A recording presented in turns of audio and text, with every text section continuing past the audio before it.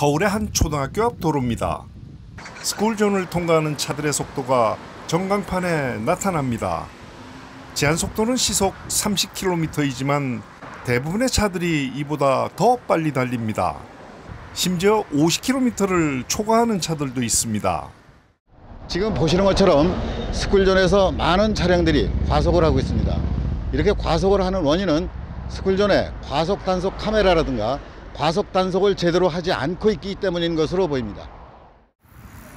또 다른 초등학교 앞 도로. 이곳은 과속 단속 장비가 설치돼 있습니다. 대부분의 차량이 규정 속도 이하로 속도를 줄입니다. 이렇게 단속 장비 설치 여부에 따라 스쿨존에서의 제한 속도 준수 여부는 큰 차이를 보여줍니다. 스쿨존 주정차 금지도 여전히 정착되지 못하고 있습니다.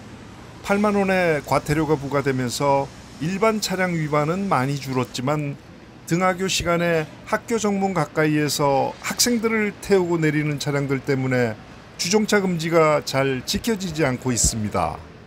애들을 차로 통학시키는 입장에서 아무래도 정문에 가까운 곳에 내려주고 싶은 것이 엄마의 마음인데 주정차 금지라는 법조항이 좀 걸리긴 합니다.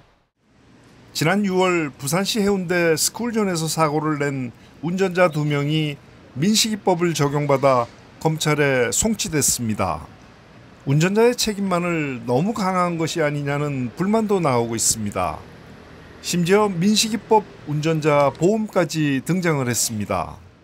학생들 안전도 중요하지만은 그 시행하는 방법에 있어서 너무 운전자에게 가혹한 그 형벌이 되지 않는가 하는 이런 부분은 좀 어, 다시 그 재고를 해줬으면 좋겠습니다.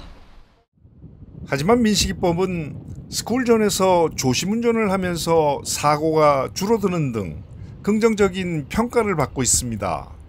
실제로 스쿨존에서 많은 차량들이 속도를 줄이고 있고 상당히 주의를 하는 모습을 볼 수가 있는 것은 긍정적인 효과라고 할 수 있겠습니다.